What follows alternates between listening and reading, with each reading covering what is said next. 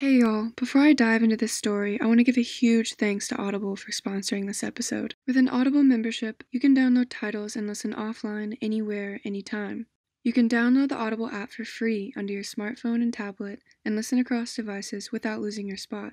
It's filled with thousands of audiobooks, original entertainment, guided fitness, meditation, sleep tracks for better rest, and podcasts, including ad free versions of your favorite shows and exclusive series. Audible has the largest selection of audiobooks, ranging from bestsellers and new releases to celebrity memoirs, languages, business, and more, like original entertainment from top celebrity creators and thousands of popular binge-worthy podcasts. Audible members also receive one credit every month for any title in their premium selection. That includes the latest bestseller, the buzziest news release, the hottest celebrity memoir, or that bucket list title you've been meaning to pick up. So visit audible.com forward slash true crime cam today or text True Crime Cam to 500 500 to start exploring Audible with a free 30 day trial. Again, that's audible.com forward slash True Crime Cam.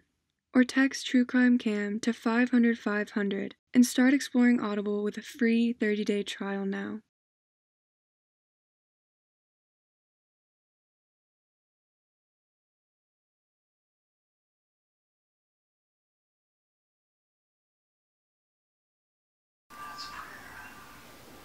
Oh, Matake Wasu. This is a place where all relations bring celebration to meditation, giving thanks for all creation. We are so provided for. We are so provided for. We are so provided for. We are so provided for.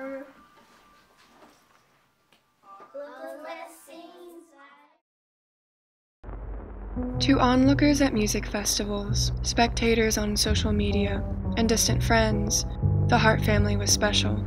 They preached positivity, love, and radiated a sense of joy that everyone felt.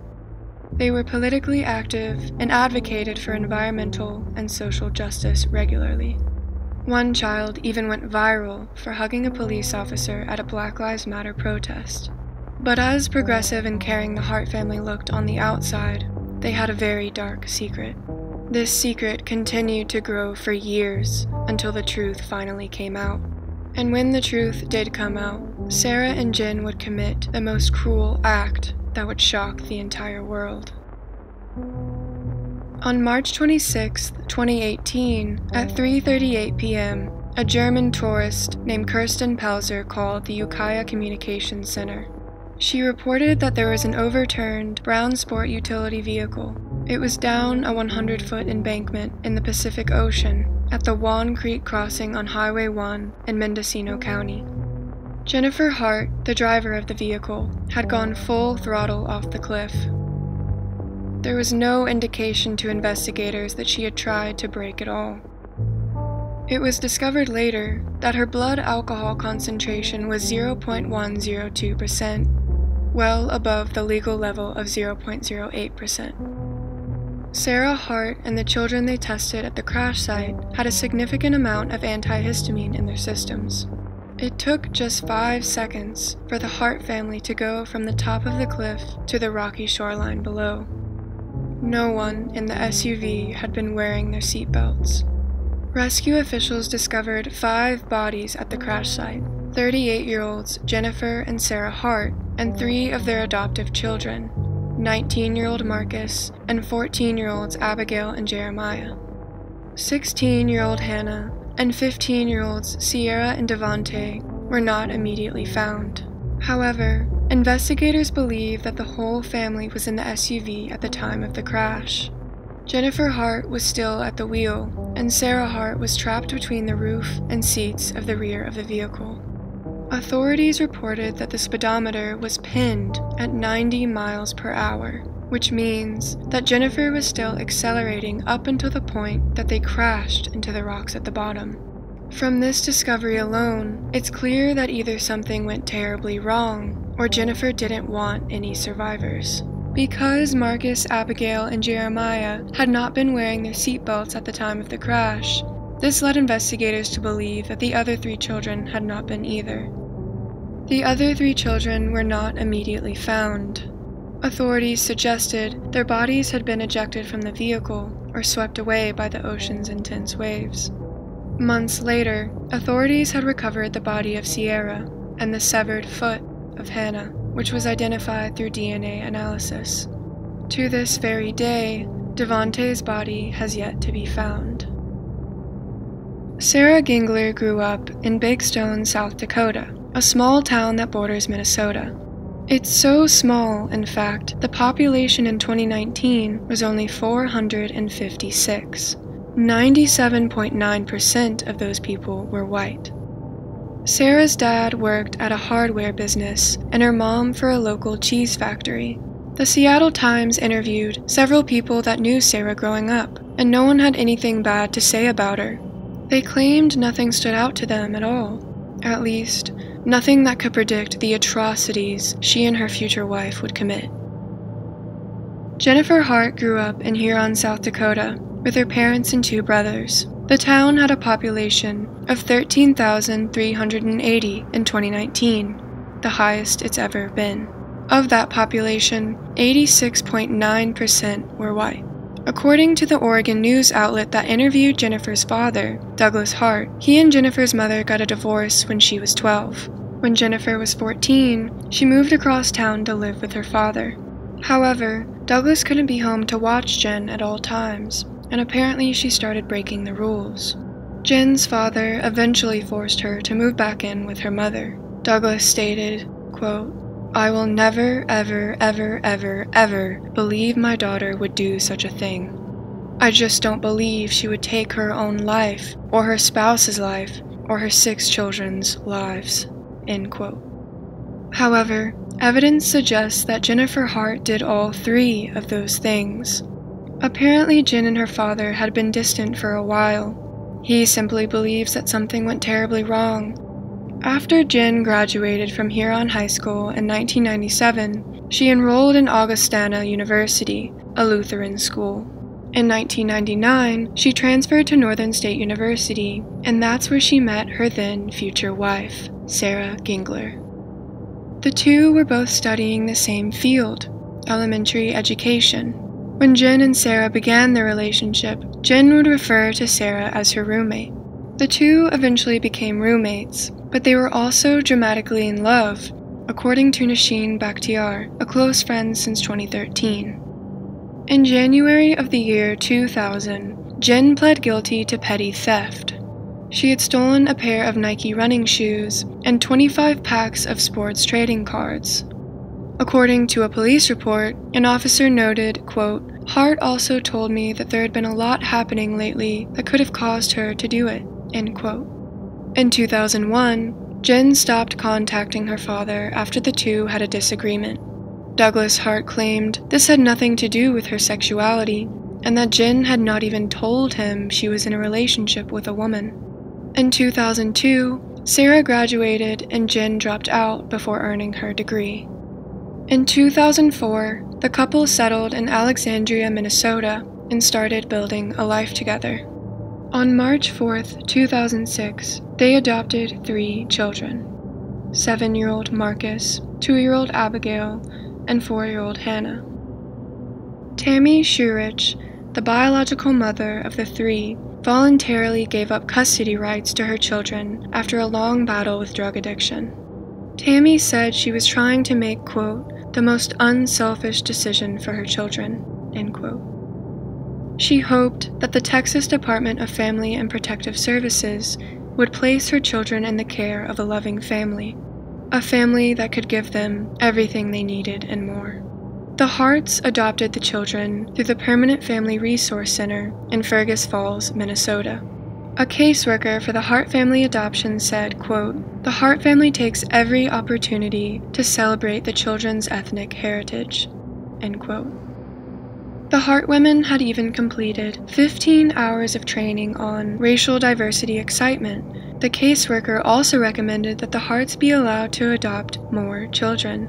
Later, it would be discovered that the same Permanent Family Resource Center was closed for multiple code violations. 71 year old Lorraine Feely lived across the street from the Hart family and knew Sarah and Jennifer as, quote, real friendly girls. However, Lorraine said she didn't know the children well at all. She claimed that Jen and Sarah didn't let them out of the house very often, but when they did, she noticed that they were very highly disciplined. Lorraine noticed that on the rare occasion the children did come out of the house, they would come down the steps in single file. Lorraine told the New York Times that it wasn't like normal kids. Two years later, in June of 2008, Sherry Hurd, the biological mother of Devonte, Jeremiah, and Sierra, had her children taken away. Sherry had failed to complete a drug rehabilitation program. Nathaniel Davis, the children's stepfather, sought custody of the children, but they didn't see him fit to take care of them. Priscilla Celestine, an aunt of the children fought hard to keep custody of them, and she thought that she had a chance, considering she was the children's blood relative. She loved them, and she knew them. Priscilla even relocated from a three bedroom to a five bedroom house to better provide for the children's needs. However, when the department discovered that Sherry Heard had once babysat the kids while Priscilla was called into work, they removed them immediately. Shonda Jones, a family law attorney assigned to the children's case, fought on Priscilla's behalf. She claims that the Family and Protective Services never gave Priscilla a chance to prove that she would be an adequate guardian, and that removing the kids suddenly was an injustice. Instead of the department allowing Priscilla a chance to take care of the children, the three of them were shipped to a random couple in Minnesota, Jen and Sarah Hart. Shonda claims the situation could have been handled a lot more humanely, especially because the biological family knew nothing of the adopters and their environment. Nathaniel Davis said the system took his life away from him that day because those children were his life. In an email Jennifer Hart wrote to an unknown receiver, she says, quote, We finalized their adoption last month. Thank goodness. I've been a ball of anxiety just waiting for the day to come. Until a couple months ago, a maternal aunt was trying to get them back. Long story, happy ending. Or beginning, moreover. The system removed these children from their homes and placed them in a new, foreign one, states away.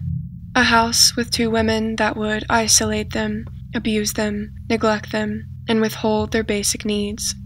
So, in a way, Jennifer was right. This was the beginning but it wasn't a happy one.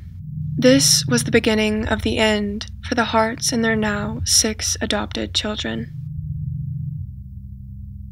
Jennifer and Sarah married the next year, in 2009. In March of that year, Jennifer revealed that Sarah was trying to get pregnant. In an email to someone, she wrote, quote, After 10 years of talking about this, we have decided on a donor. This month will be the first time she will have done the actual procedure. End quote. In July, she wrote that the doctor couldn't locate the heartbeat of the baby, and six days after that, she told them that the baby didn't make it.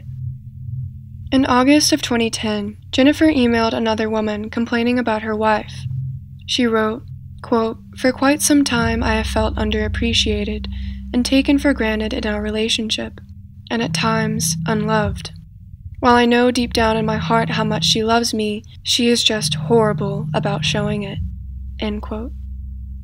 Because Sarah had been the only one working a job, Jennifer was left to take care of their six children. Jennifer felt she had been raising them on her own and wrote that she needed a break. Three months later, abuse allegations against the Hart women surfaced in November of that year. Abigail Hart, who was at the time just six years old, told her teacher she had owies on her back and stomach. She told the teacher, quote, Mom hit me, according to court records. The teacher then lifted Abigail's shirt and discovered bruising from her chest down to her belly button, as well as her back. Detective Sergeant Larry Daly went to interview the couple due to the allegations. Abigail told Detective Larry and a county social worker that Jennifer had gotten angry with her about a penny. Apparently, a penny had fallen from Abigail's pocket onto the floor. This caused Jen to take Abigail to the bathroom, put her hands around her neck, and shove her head in cold water, as well as hit her with her fist.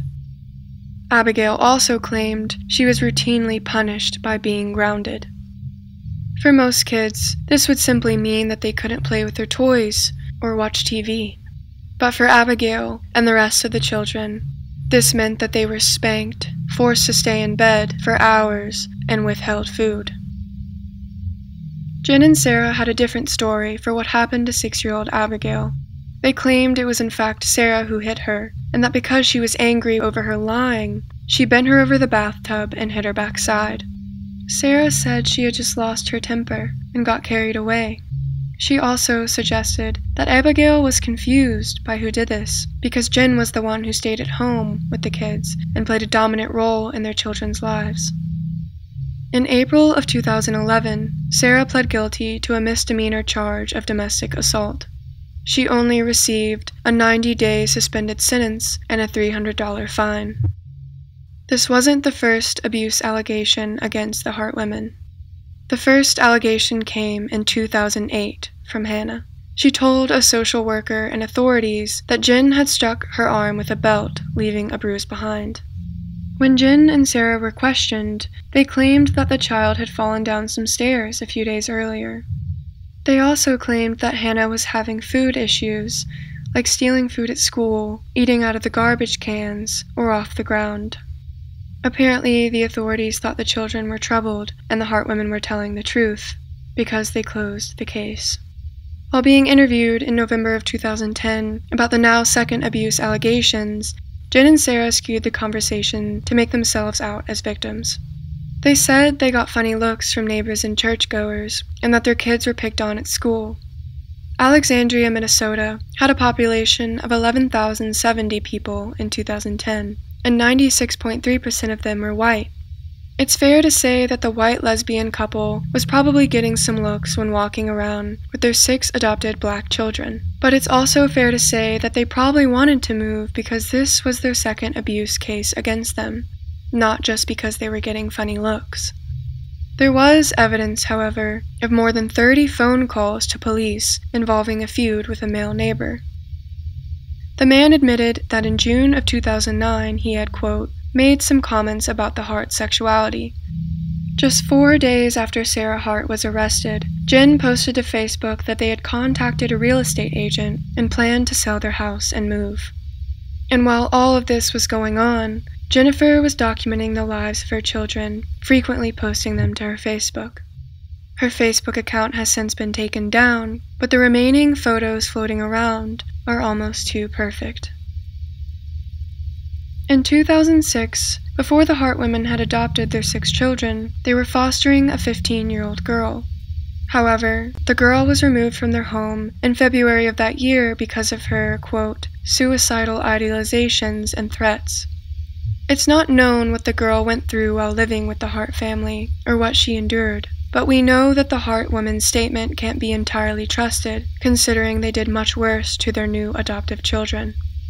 The Harts said that they were planning on adopting children, and, quote, didn't want the negative energy to impact their children. What's troubling is that they didn't even tell the girl that they were giving up her custody. They simply dropped her off at a therapist appointment and never returned. The therapist had to inform her that the Hart women wouldn't be back, and that the arrangement hadn't been a good fit. All the girl's belongings were dropped off later at her new temporary home, and that's the last she ever heard of them. In 2011, Hannah told her school nurse that she hadn't had any food. Jennifer Hart was enraged by this and shoved a banana and nuts into Hannah's mouth. Sarah then argued that Hannah was just playing the food card and should only be given water. A child welfare worker made a report stating that the school stopped reporting these allegations of abuse and neglect because they feared for the children's safety. This alludes to the fact that any time the children shared with others that they were being abused or neglected, they would be punished for it. This further silenced the kids about speaking out about the abuse and enabled Sarah and Jennifer to continue their behavior. Another concept enabling the abuse and neglect to continue for the Hart children is how people perceived the family. A Minnesota welfare worker wrote that Jennifer and Sarah looked normal. This normalcy that the Hart women portrayed, in combination with the white privilege they had, were strong factors in keeping these welfare allegations swept under the rug. The biological mother of Marcus, Abigail, and Hannah had her children taken away, despite the fact that the children's aunt was fighting hard for their custody. So, why were these two women allowed to keep six children they had been abusing and neglecting for years? In 2011, the Hart women pulled all six of their children out of public school and started homeschooling them. They had a close call with the Child Welfare Department, and the only way to stop the abuse allegations was to isolate their children further. As soon as assessments and services were concluded by the Minnesota Child Welfare Department in early 2013, the Hart family packed up all of their belongings and moved to West Linn, Oregon. That same year, the Oregon Department of Human Services received an anonymous report on July 18th. This person claimed that the Hart children appeared malnourished and neglected. The Oregon Department called officials in Minnesota to get an accurate background on the family's history. Through this, the Oregon Department learned that the Hart family had six reports of abuse or neglect. Only two of those reports were deemed founded by the Minnesota Child Welfare Department. For those prior allegations, the Harts had to complete in home therapy, counseling, and other skill building activities. The following is the collection of allegations and reports about the Hart family that the Oregon Department of Human Services had access to. In November of 2010, Abigail was reported to have been going through the garbage at school and taking other classmates' food. This was ruled out. On November 4th, 2010, Jen had hit Abigail's head against the wall. There was no marks to back this up. It was ruled out. On November 15th, 2010, the physical mistreatment of Abigail Hart was reported. This was the abuse allegation I went into detail earlier in this episode. Abigail accused Jennifer of the abuse, but Sarah ended up taking the fall. And this entire altercation was supposedly over a penny in Abigail's pocket. This was deemed founded. On December 12, 2010, Hannah Hart had a dime sized bruise on her hand from Jennifer hitting her. The report said it was because Hannah lies. Hannah also reported that Jen hits her all the time. This allegation was open for an assessment, but there was no determinations. On January 4th, 2011, it was reported that Hannah's classmates were giving her food, and she had been approaching them for food as well. On January 14th, 2011, Hannah reported that she hadn't eaten. I went into detail about this allegation earlier in the episode as well. Hannah said Jen told her she was being disrespectful and shoved a banana and nuts into her mouth. And Sarah said that Hannah was just playing the food card. And this is around the time the school stopped reporting allegations of abuse and neglect because they knew the children were being punished for it. Anytime Sarah and Jen were confronted with the fact that their children looked years younger than their actual age, they would talk about their kids being adopted and high risk with food issues. The Oregon Child Welfare Department began an investigation of their own into the Hart family. The CPS report notes that on July 19, 2013, a worker tried making contact with the Hart family by dropping by their house at 10:30 a.m. The Harts only had two vehicles, and those two vehicles were in the driveway when the worker arrived. However, after knocking on the door several times, they received no answer. The CPS worker left their card with a note attached asking that the Hart family contact them. It's unlikely that with both of the vehicles in the driveway, the family of eight could not have been anywhere but home. That same day, a detective drove by the Hart residence and noted that the suburban vehicle was now gone. Sarah Hart left a message for the CPS worker stating that she had found their card when taking out the trash. The CPS worker contacted Sarah and made her aware of the allegations and the process of an assessment. Sarah told the CPS worker that she had just missed them that day. Apparently, they had all been on the coast picking berries that day and made sure to let the CPS worker know that the family traveled a lot. That still didn't explain the only two vehicles they owned being in the driveway and the women still not answering the door.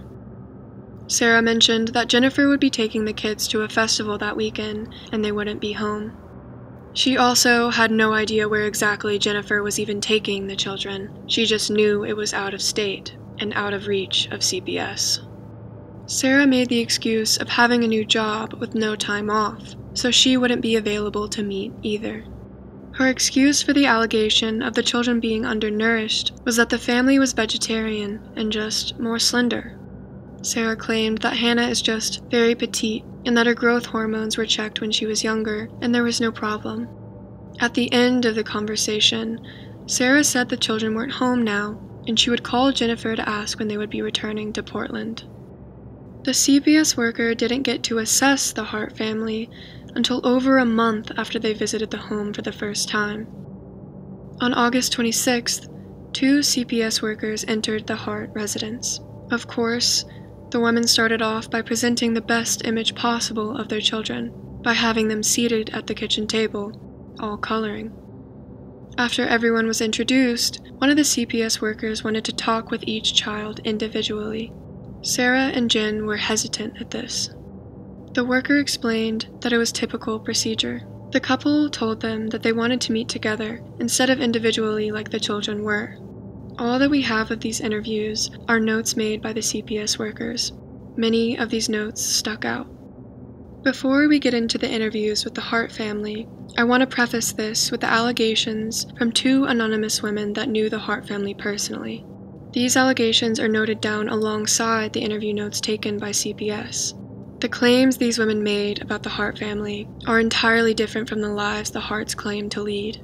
One of these women had even been cut off from the family after expressing concern about Jennifer's punishments. One woman recalled having the family over several times. They had ordered pizza, but Jen only allowed the children one small piece each. The next morning, the rest of the pizza was gone, when the woman casually mentioned it to her husband, Jennifer overheard and became infuriated. She took all of her children into the bathroom. When they came out, she told the woman's husband that none of the children would be having breakfast because none of them fessed up to eating the pizza. As a punishment, Jennifer forced her children to lie on the ground in the dark for four to seven hours, unable to move. If Jennifer was comfortable refusing food in front of others, imagine the abuse the children were suffering behind closed doors. The first time one of the anonymous women met Jennifer, Devonte said he was, quote, starving. The woman suggested that they stop and get him something to eat. Jennifer responded that Devonte wasn't hungry. Devonte then denied ever saying he was hungry in the first place. The woman thought this was really strange she also reported that Jennifer would only feed the children tiny portions and wouldn't allow them to have seconds. The children would eat freely when Jennifer wasn't around, but as soon as she entered the room, they would deny eating anything. Jennifer would rarely allow direct interactions between her children and anyone else other than her and her wife. When the woman confronted Jennifer about how little she was feeding Hannah, Jennifer told the woman that Hannah had been morbidly obese before coming to her. There's no evidence of Hannah ever being obese. This woman claimed that the children had to raise their hands before speaking, and they weren't allowed to laugh at the dinner table. On one occasion, Marcus had gotten in trouble at school on his birthday.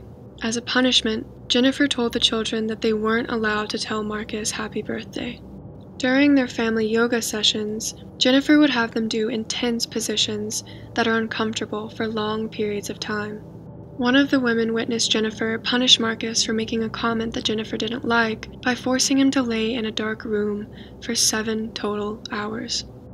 One of the anonymous close family friends reported that Jennifer was manipulative and controlling in the relationship with Sarah. She also reported that at one point Jen wanted to leave Sarah for her and had become obsessed.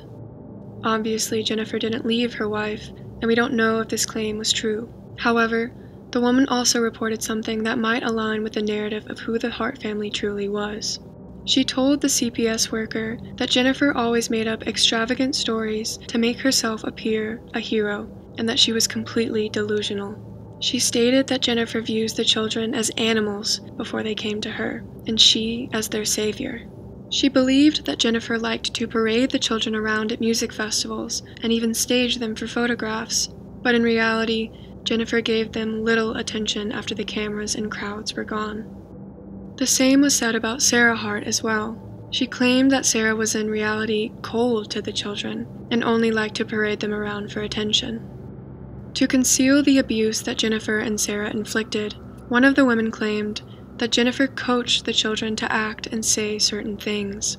The children were also reportedly not even allowed to cry.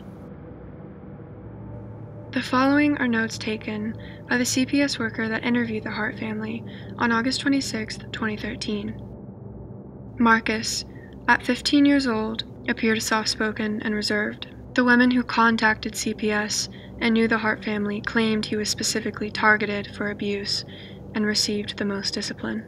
But Marcus told a different story. He told CPS that he was grateful for Sarah and Jen for changing his life. He told them that there was more opportunity in Oregon and felt that they were contributing to the world. This painted an entirely different picture than the one made by the other two anonymous women. According to one of them, Jennifer told her that Marcus attempted to kill her, but was saved by Devonte. On a different occasion, when the Hart family was at the woman's home, Jennifer alleged that Marcus tried to punch her and drug her. The woman didn't believe Jennifer, however, and said she didn't hear Marcus yelling like Jennifer said he had. In response to this allegation, Jennifer and Sarah told the CPS worker that when they adopted Marcus, he was already on psychotropic medication. However, Marcus was apparently no longer on that medication and has no mental health concerns at all.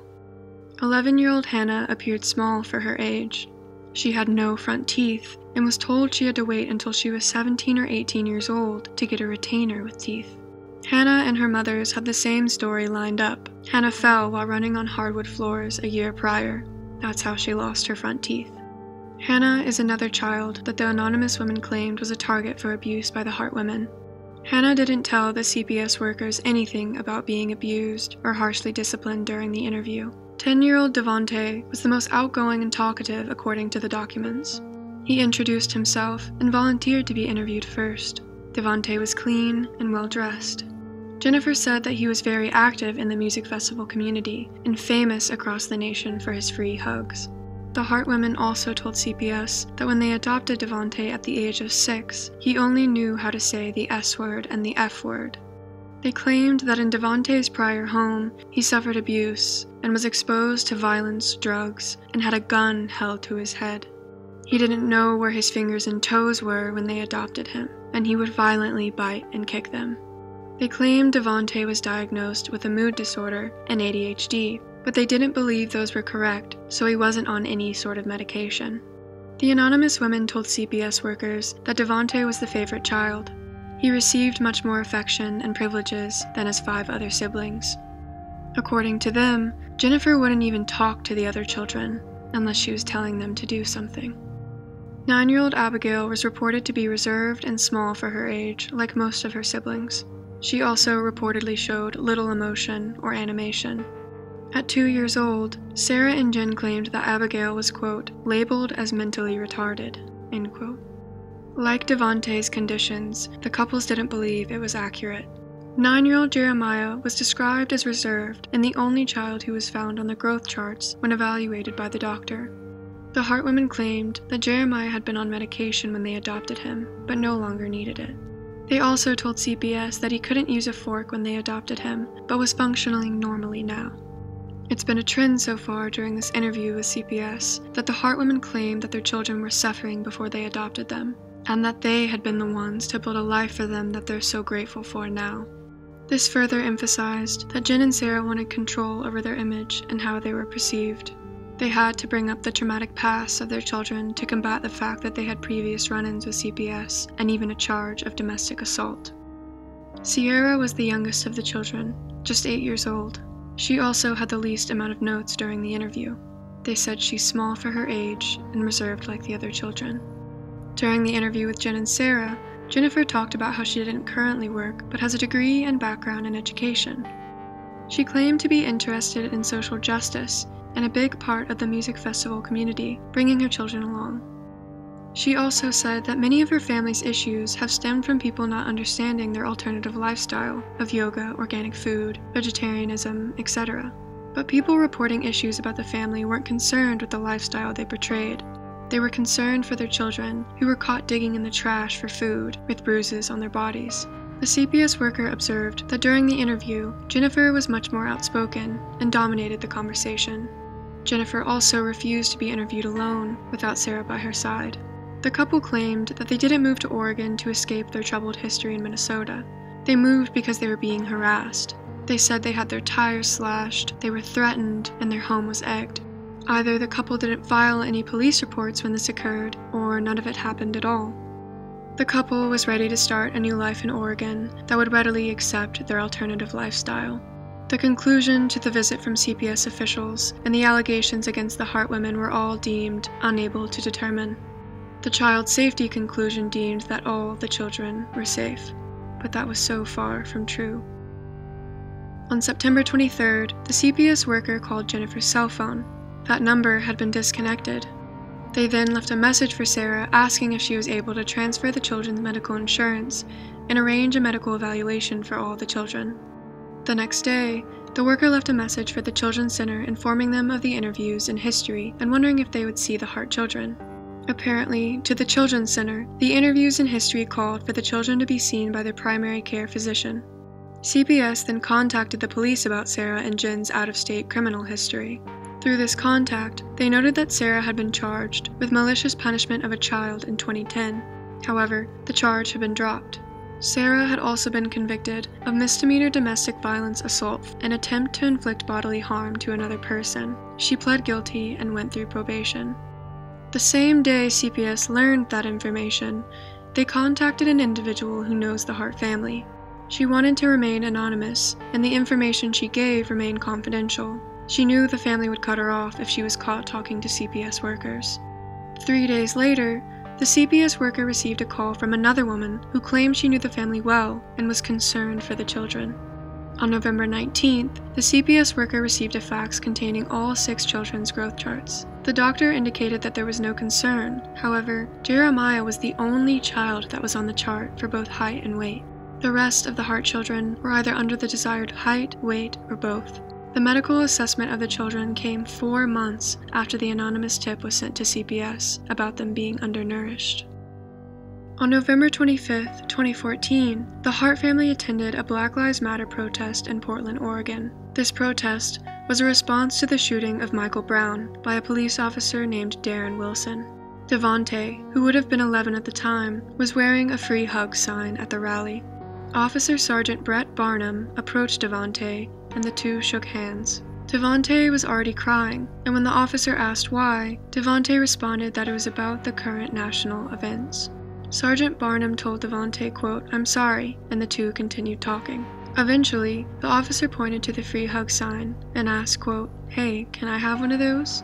As tears were streaming down Devonte's face, a freelance photographer captured their embrace. That photo ended up going viral and gained national attention. The image was featured on Reddit, ABC News, CBS News, Fox News, NBC's Today Show, and many more media outlets. It was even mentioned and shown during a Saturday Night Live sketch. On Facebook, Jennifer made a post about Devonte. She wrote, quote, My son has a heart of gold, compassion beyond anything I've ever experienced, yet struggles with living fearlessly when it comes to the police. He wonders if someday, when he no longer wears a free hug sign around his neck, when he's a full grown black male, if his life will be in danger for simply being. Now, this is when the Hart family story takes an even darker turn. Because of this viral image, Jennifer and family friends claimed that the family was receiving death threats. While that story is believable, authorities say there's no actual evidence that they ever received any death threats at all. Judging by the history of deception from Jennifer and Sarah, it's more likely that their hunger to be perceived as white saviors got out of hand. Due to the overwhelming social media posts from the women boasting their family life, it's clear that Jennifer and Sarah Hart were fine with sharing their personal lives, as long as they had complete control over their final image. What scared them was having an audience too large to control. People could easily poke around and find the charge against Sarah for domestic assault. It was time to cut more ties and isolate themselves further. They couldn't risk tainting the perfect image they worked so hard to create, or even worse, another visit from Child Protective Services. On Jen's YouTube channel, the last post she made was on December 27, 2014. The entire video is showcasing Devonte for 2 minutes and 39 seconds, wearing Elton John glasses and a Nemo hat. He's dancing in his underwear to Joni Mitchell. Devonte was noted to be the more outspoken one of the group by CPS officials. He was also considered a favorite of Jen's by many family friends. Devonte appeared relatively thin and small for 12 years old. He also looked like he wasn't enjoying the dancing much at all. His face is emotionless, and he only flashes a brief grin a few times during the entire video. Here's what Jen's caption reads Abby ended her 11th birthday celebration with an epic dance party last night. While I would love to share more clips from the evening, apparently not all the kids are thrilled with the notion of everyone seeing them shake their booties in their underwear. Most of the kids danced for over four hours straight until 1 a.m. This kid outlasted me. Elton John glasses, underwear, Joni Mitchell, fishy accessories, dance till dawn, just your average Friday night. In 2016, Nusheen attended a Bernie Sanders rally with the Hart family. Because there wasn't enough space, Nusheen let Hannah sit on her lap. She thought Hannah couldn't be older than seven or eight. Jen then told her, quote, You know she's 14, right? Nusheen had met the family in November of 2013 at a concert and connected instantly. She visited their West Linn, Oregon home several times and described Jen as, quote, the most sensitive, gentle, humane person. When she visited, however, she wouldn't see or interact with all the children. She mostly just saw Devonte and Jeremiah. Jen confided in Nusheen that the children were born addicted to drugs or alcohol, and their genetics explained their size and behaviors. Jen also claimed that none of her children would marry, have kids of their own, or live normal lives. Sadly, she was right, but it wasn't due to their genetics or troubled past. It was Jen and Sarah who would make that decision for them.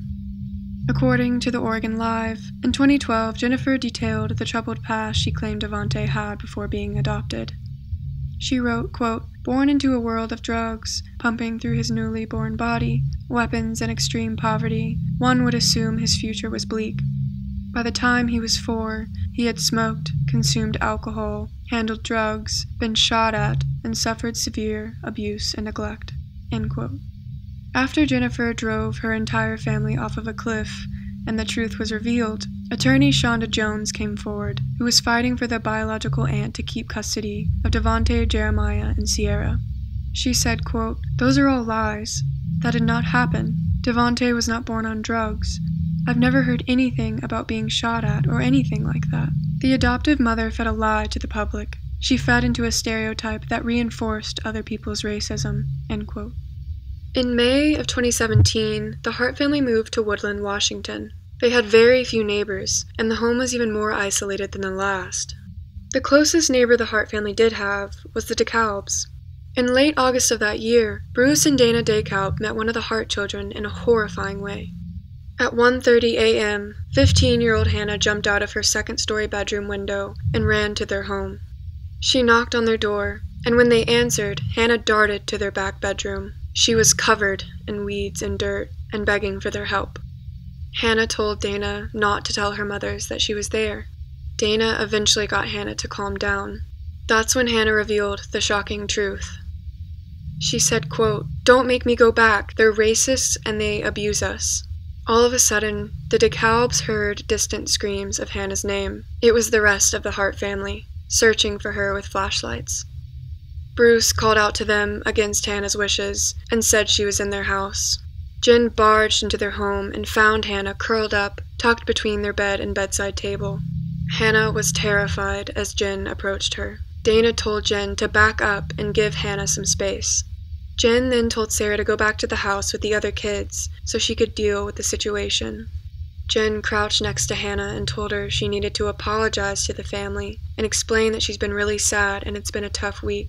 Dana recalled that Hannah became robotic in her demeanor after this. To everything Jen said, Hannah would respond, Yes, ma'am, with little to no emotion. Hannah eventually left with Jennifer, and the DeKalbs were left wondering what made Hannah want to escape her own home. The next morning at 6 a.m., Dana heard a knock at her door.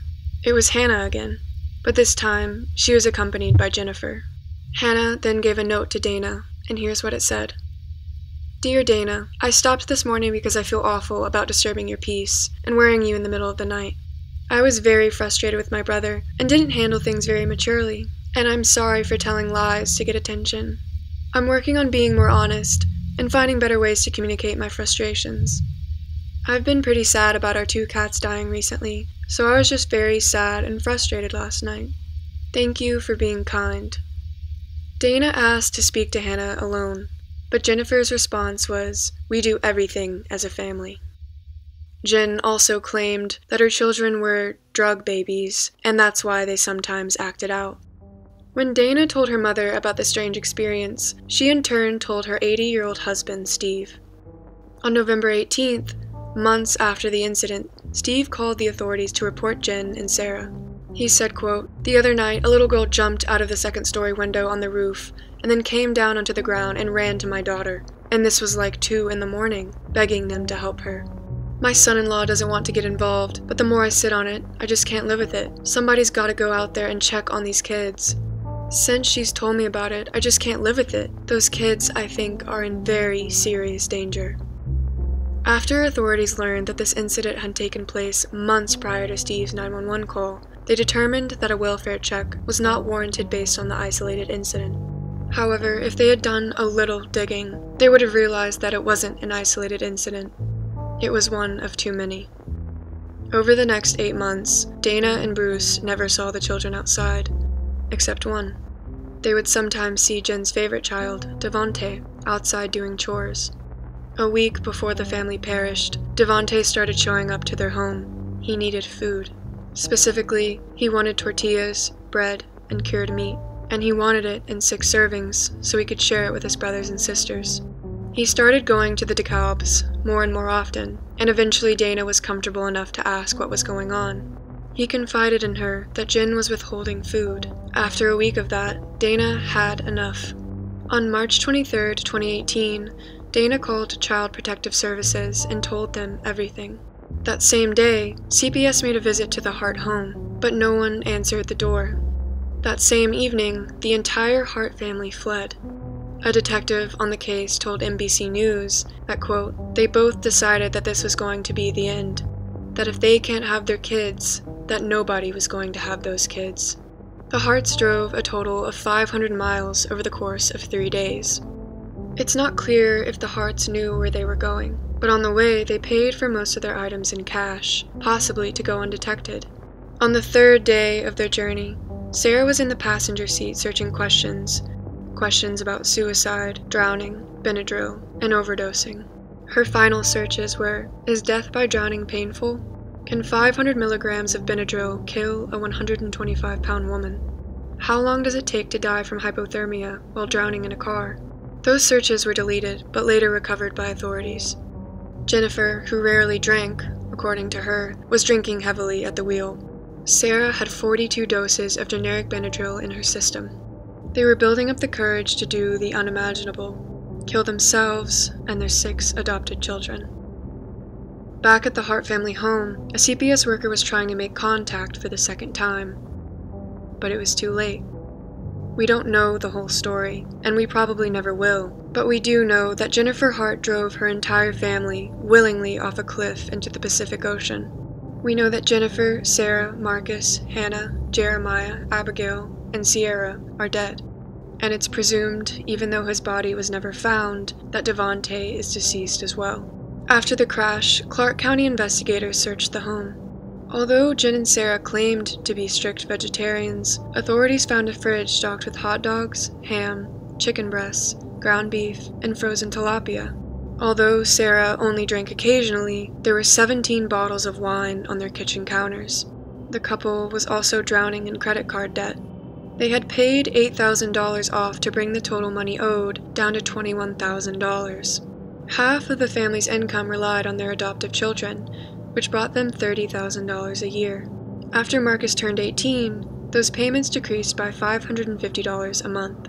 Nathaniel Davis, the stepfather of Devonte and Jeremiah, was reportedly sending over 10 grand a year to the family.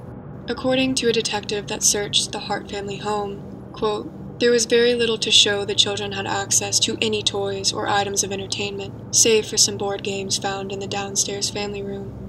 But what investigators found most disturbing was that they couldn't figure out where the children had even slept. Sarah and Jen had their own room with a double bed. One room had two love seats and a padded mat on the floor. Another room held a single twin bed. Where were the children sleeping? A friend of the Hart family noticed something in one of Jen's Facebook photos that had been overlooked before. The children were all painting pictures. but there wasn't any paint on their brushes. If only these minor and major details hadn't been overlooked before, would they still be here today? Thank you guys so much for watching. Please give the video a thumbs up and subscribe if you want to see more. You can also follow me on TikTok and Instagram, where I post true crime daily.